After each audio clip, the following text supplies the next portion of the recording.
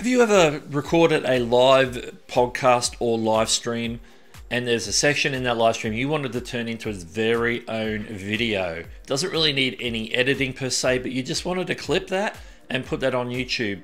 But up until now, you've either had to download that or send it to a clipping service like Opus Clip to get edited, and then you have to upload that back to YouTube. Well, what if I told you that you can do it all in YouTube Studio without exporting or uploading anything new? Well, in this video, I'm going to show you how to do it using one of YouTube's brand new features that you've probably never heard of. So make sure you stick around because I'm going to show you how. So I'm on my channel. So what I want to do is go to my content page.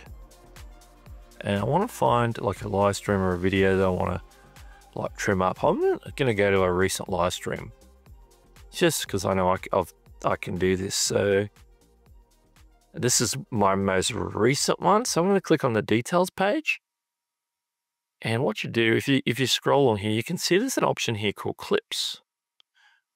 You might say, well, I might have had that for a while. I'm not sure. I've seen something like that before on my channel, but this is actually new. So we're going to click into clips and you get this picture here. It says create video clips to expand your reach, learn more. We're going to open that in the background. But first of all, we're going to create a video clip. And it's based on the video that we're currently on. So we get like a, the like editor type view. And you can see it's a little different. We've got this text here. And it's highlighted a, beginning section of one minute. But you can see there's a video player so we can find the spot we want. There's also um, these little handles down here. So I'm going to drag out the handle, which is made, I've just selected a video of an hour and 10 minutes. It's telling me how long the video is going to be, but I'm going to try and find a spot that I want to use uh, just for the purposes of this tutorial. So let me just uh, quickly tweak it into place. Effectively, you can see what I'm doing is dragging the input and output. I can also uh, grab this and say set a start and then that automatically moves it. But I can move it back in here. Obviously this is the playhead, so this is what we see here. And we're going to talk about this little section here that I've going to clip from my live stream. And I can use the text to find the exact spot I want. So we want to maybe uh, set a start point there. We can actually set the start point from the text. You can see what I did there. I'm going to actually move it to here, set a start point. I've got a couple of screenshots and then we need to find our endpoint, which I'm not sure where that's going to be. So what I'm going to do is find the player head. Uh, sometimes I have to listen to what it is, trim it down. So yeah, thoughts on that? I'm going to jump back to this real quick. And set as an out point. So I got a little clip. There's four minutes, 41 seconds. You can see at the top there. So I'm going to deal with this. Now you can see there's an additional option here and an intro and outro. This is very interesting. If we click on that, we can add an outro. It'll be like, like your little end screen element, maybe something like that. And it says the outros need to be less than 30 seconds. So your intro and outros need to be less than 30 seconds to be eligible. So it's checking all the short bits and pieces on my channel. And I've got one that I've prepared earlier as an outro. So I'm going to put that on there. I made a basic intro but I'm not going to probably use that for this demonstration, but I could effectively add an intro as well. I can go in back here, and down there's that outro there. I've got also got an intro. So I'm actually going to leave that off for this example, but I could add that. And you can see it's actually added now. There's an intro and an outro on the video. Doesn't adjust the duration type, but it's just the duration of the, the clip section. So what we can then do is go up and create a draft. There's other options here in the three dot menu. We can revert to original, which means just back out of our changes. But we want to create a draft. So uh, I'm just going to go and remove that intro real quick because I don't want to use that. And I'm going to go create a draft. And now it's going to do a little bit of processing here. And basically kicks us into the upload video flow. And now I've even asked me to do a survey. But here you can see there's an uh, upload video flow. Is untitled video. So this is uh, where I can go in and give the video a title, uh, a description, a thumbnail, the whole nine yards. So I'm going to go through and do that now really quick and come right back.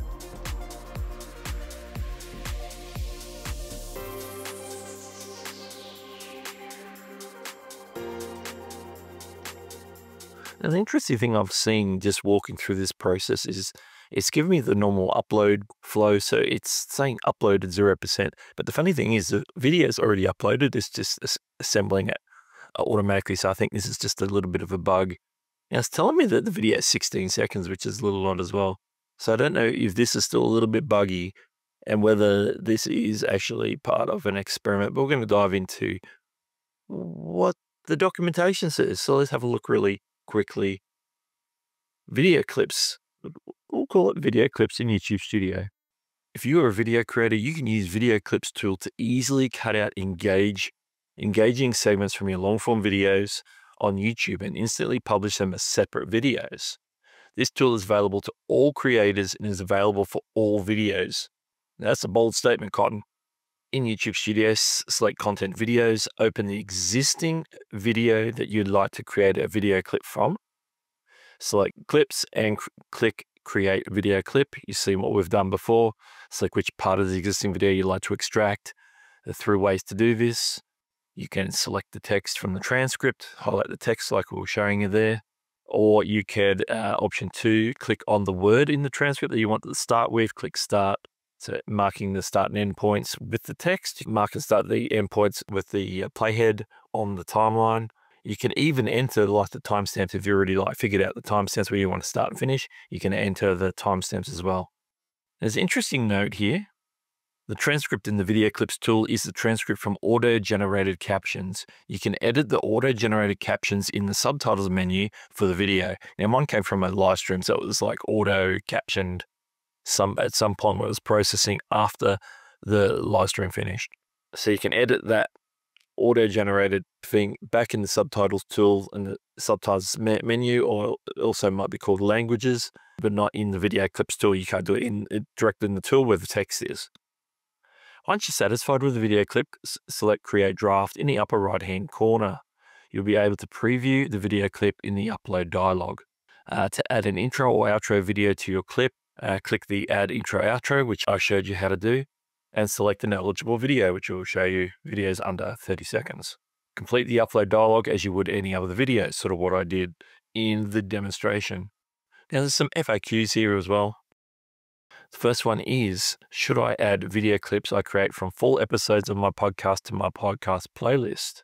We recommend only having full episodes in your podcast playlist. So don't take clips of podcasts and put them in, uh, in, into the same podcast. So but publish it elsewhere. Make make a separate playlist for your special clips. Uh, can I link a video clip I made manually to the source video? All you have to do there is link back to it in the description if you want to do a link back. There's no sort of special linkings, like a related videos on shorts or anything like that. Can I make shorts with this tool? At this time, the tool only creates 16 by 9 videos. Now, in the survey that it popped up just before, it did ask uh, what ty types of editing would like to do, including 9, 9 by 16 shorts. So it's something that they're considering.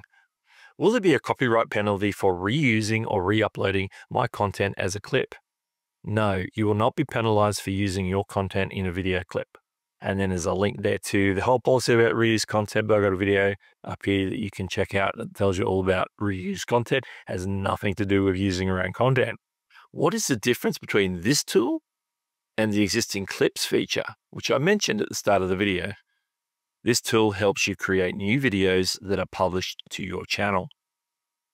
The existing clips feature helps users from the community clip a small portion of the video or live stream and share it with their friends. This clip links back to the original video and is not a new video on your channel. But this new tool, it becomes a whole new video on your channel. It's not like just a, here's a cut section of the video that you're just using for sharing purposes. This is not a sharing tool. This is a legit separate video made from an existing video.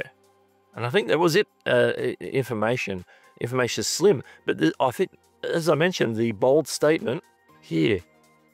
This video tool is available to all creators, available to all videos. Now, I don't know how widely this is rolled out, but it is definitely rolling out right now. I got mine in the last week or so. So here it is, ready to go. Let me know if you've got it uh, on your YouTube studio by going to a video that's processed has to have or had processed the uh, captions, whether it's auto captions or you've uploaded captions, you know, and use those captions to edit by text. So make sure um, that you go and check uh, that clip section, go to a video, details, then go down to the side menu, look for the clips, little scissors, and let us know if you got it on your channel and if you can create clips from longer form content. I'm expecting YouTube to be rolling out a bunch more things coming through the summer. As of recording this, it was the week before VidCon, so I'm expecting new announcements, wonderful things. There's some other things we might be talking about very soon on the channel. So this is Doug, and I'll catch you later.